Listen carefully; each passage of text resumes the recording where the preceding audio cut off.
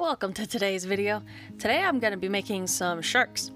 I had no idea what I was going to make this morning, and then Nick suggested that I make a shark magnet. He loves sharks. This was his dad's shark book from when he was a kid. So I'm going to flip through it and find some things. Nick said that he likes hammerheads, great whites, whites and um, thrashers.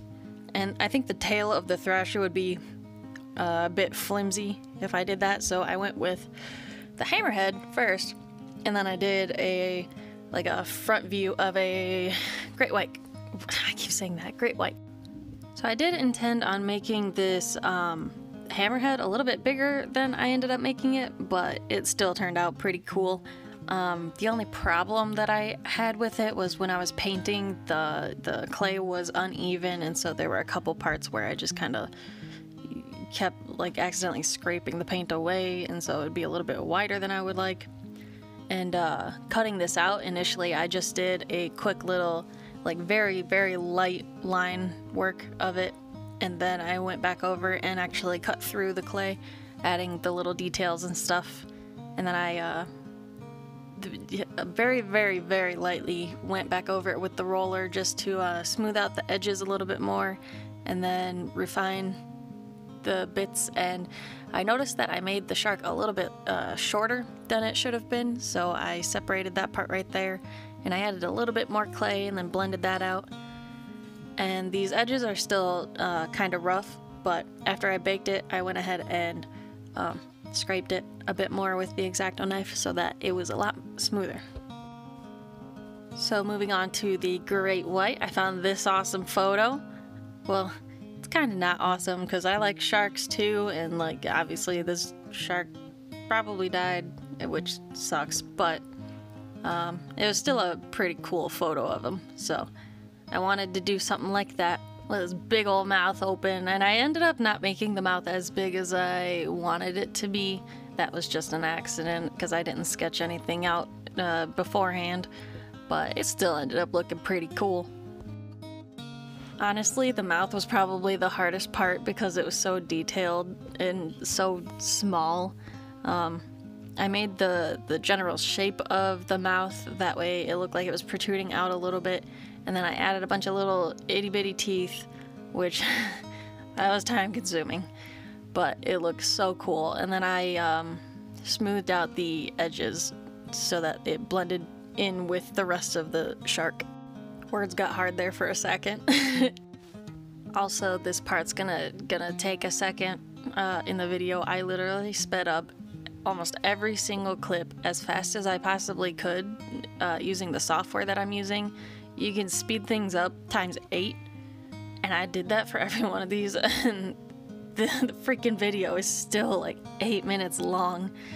Uh, that happened yesterday too. I sped up every part, almost every part, as fast as I possibly could so that I could fit like the whole process in because there was so much and the video still ended up being so long. It's crazy. And I even did stuff like because I didn't want to run out of space, I even did stuff like more of the blending out of the mouth uh, while the camera was off. And uh, this is just me shaving the uh, cooked pieces. They, my head's getting in the way. They were uh, baked for 15 minutes because they're pretty thin. And these ended up being a lot harder than my, uh, was it the skull that I did yesterday? Um, so carving these was a lot harder, but they still felt very flimsy because of how thin they were. So trying to bevel the edges a little bit, um, I was so scared that I was gonna break one of these. it was so scary, but I wanted it to look good. I didn't want like the, the, the, edges like protruding out like visible from you know a frontal view i don't know if that made sense but it was necessary okay so um, this blue was a lot thinner than i thought it would be so that i used that to my advantage and i just did a thin coat of blue and then I started adding it just so they matched a little bit and looked like they were underwater. And then I started adding in the uh, shading and the colors that were uh, more specific to each of these sharks.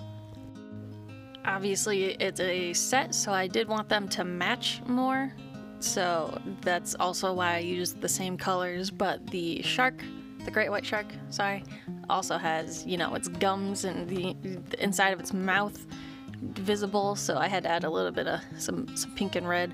Also, that red is nasty. It is so dry and it was so hard to work with. There's just a little bit of liquid at the bottom that I could use. But it added just enough darkness, well, almost enough darkness. I did end up going back in there and adding a little bit of black and blending it with the liquidy white or uh, liquidy red. That way it could get even darker to add some depth, make it look like it's got a big old belly inside him. Did you notice that I accidentally smudged the pink up on the nose? That sucked. I accidentally smudged some more on it after the entire thing was done because there was still a little bit of um, the red on my hands from touching the mouth up at the very end with the black. and that was annoying to try to cover up because it was on the top layer and I didn't want to mess up the colors or anything. Like, it was, it was, it was hectic. But I'm just, um, adding some shadow in, some shading to, to the darker parts because I didn't have a dark blue that I wanted to use. Wanted to use. It is so hard for me to talk today for some reason. But uh, this is looking pretty cool. I I did not plan on making these look realistic whatsoever, but this uh, great white actually ended up looking pretty awesome.